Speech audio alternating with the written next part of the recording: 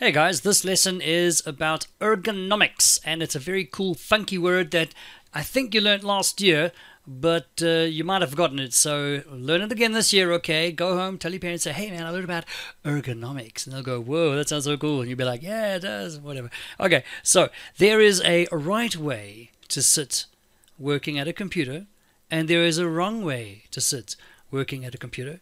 And then there's my way of sitting working with a computer. Don't do this. Okay, moving on. So, guys, I want you to have a look at these pictures. And let's have a look. Now, I saw these pictures. I saw these ads overseas a long time ago. And I went and I looked online. I found the pictures. And here you can see that there are different machines. And on the side of the machine, there's an advert. And it looks like someone is inside the machine, like doing the work that, you know what I mean? So, like the first one on the left there is uh, a lady like making coffees, a little coffee takeaway thing. Then there's another lady sitting like doing banking or something. It's very cool. I'll look at the next one here. There's a guy filling up his car, okay, with petrol or whatever, and there's a, a guy inside the tank like pumping it and whatever, okay. And then we have um, what's that guy doing? Oh, it's like developing photographs, like back in the good old days at a photo booth thing. That's pretty cool. this one's my favorite. The top left one there. The the bag going through the the security scanner, the X-ray scanner, but it's actually like a guy inside, like taking everything out. He's he's looking at the dude's underwear. I mean, come on, that's crazy. And then of course the lady at the bottom there washing dishes. So that's all ergonomics. Now I'm just gonna go back a second, okay, and have a look now if you if this had to be a realistic work environment for people like if they were actually literally working in this environment what are some of the issues we have here well look guys space lighting the furniture they're using, the equipment they're using, what they're wearing. I mean, you can see there's all kinds of stuff that would really like damage their bodies physically and make it really difficult for them to do their jobs properly in these situations. Fortunately, they're not real situations. But that brings us to what ergonomics is all about. Let's see if you remember this, okay? So, ergonomics is the design of hardware devices to reduce stress placed on the body and to prevent or minimize injury while in use. So it's the design of devices like a mouse, a keyboard, that sort of stuff, a microphone, headset, all of that, that is designed to reduce stress on the body so it doesn't make us hurt ourselves. Okay, does that make sense? All right, let's get let's look at some examples to kind of drive this point home. So here are some examples, right? Have a look here. Here we have an ergonomically designed keyboard. There at the bottom we have a rest for the wrists to like rest on. The keys are slightly curved. They're probably up a little bit. So it gets it like ready so your hands can sort of just fit really comfortably and it rests your wrists so that you can type comfortably and not have, you know, not, not get tension and inflammation of the tendons and stuff. We'll talk about that later as well. There is a funky looking mouse of some kind. I I don't know how you would hold that, okay, but yeah, I, I don't know. Is that for the thumb? Oh, I don't know. But um, it's also made to fit comfortably under the hand, to cradle all your fingers, make it really comfortable, so that very minimal effort is used to move the mouse and control things on your screen.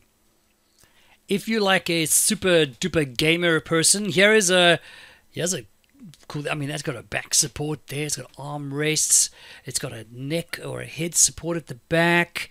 You can see you can like tilt it backwards or forwards and stuff like that. So that's obviously made so that your body can sit and just be comfortable. Okay, so what do we have next? We've got, well, there's like an office chair for the serious office worker who types and sits at a computer all day, kind of like me. I wish I had one of these. I don't. I wish I do. But look how comfortable that looks. It really does look good. There's supports in all the right place, and I mean, it's you can raise it up and down, tilt backwards and forwards. I mean, that's the kind of chair that you're looking at that will support your body. It's made to help your body to like relax. Okay. Here we have a workstation that has been designed for you to stand and work at. All right. More more examples of ergonomic design. Okay. Here's mine when I retire and I can just lay back and do whatever I want. That's what I'm getting. Okay, there it is. Yes. Oh, hang on. Does that look like it's got? Uh, is that a? Do, do you pedal on that, or is that? Do you just rest your feet on that? I hope it's not for pedaling. I can't do that. Okay, I'm gonna have to rethink this one. Okay, when I saw this one, okay, I had to throw this one in. Okay, guys, I'm, i just saw this I'm like, ooh, ergonomic keyboard. I'm like, no, just no, no, no. Look at that. Where, how would you even type? Like, where is, where's M?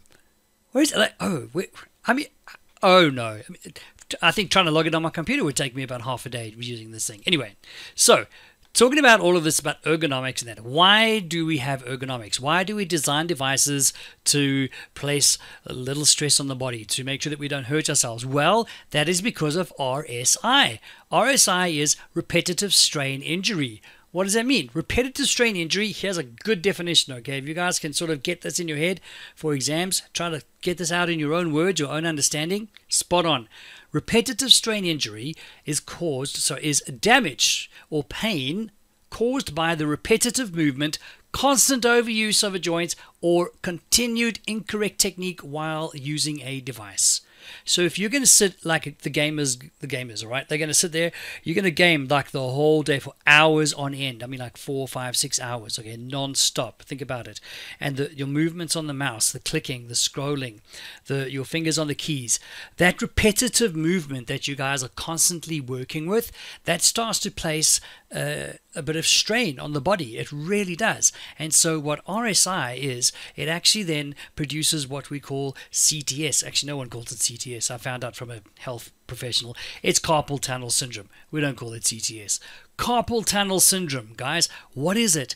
Well, it is a, an injury which is caused by repetitive strain. Okay, it's a repetitive strain injury, and it affects the hand and the arm. Now, you may have had it. I've had it a couple of times, and it is no fun. Trust me. It is caused by an inflammation of the nerve. Okay, about there, I think it is right there. An inflammation of the nerve in the carpal tunnel of the wrist because you're constantly putting pressure on it the whole time while using a mouse Man, it is no fun, guys. No fun. It's right there. When you start feeling pain, then you know it's time to take a break. All right. So let's have a look at some tips for healthy computing. Tips for healthy computing. All right. How to compute healthily. Good posture. Sitting properly. Having your feet off the ground. Uh, feet. Uh, okay, it says if your feet aren't supported on the floor, uh, then you should have them on a footrest. Okay, I just saw that for a second. I'm like, oh, I don't sit like that. Anyway, so there you go. There's good posture.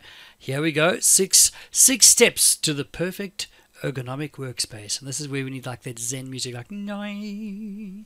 right. Chair, desk, monitor, keyboard and mouse, your surrounding, and your lifestyle, believe it or not, how much time you spend connected to the interwebs and how much time you spend staring at a screen. And I'm the worst, so don't even take this from me. I'm the worst at this, guys, I promise.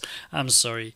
Right, what else? Tips for healthy computing, regular breaks, Check your screen brightness. Check the distance of the screen from your eyes to the screen, okay? Check your table height, your chair height, lighting, ventilation, fresh air, and use ergonomically designed devices. So, guys, for exams, try remember about three of these things, okay? Take to heart three of these things and put them into practice in your own computing world as well, okay?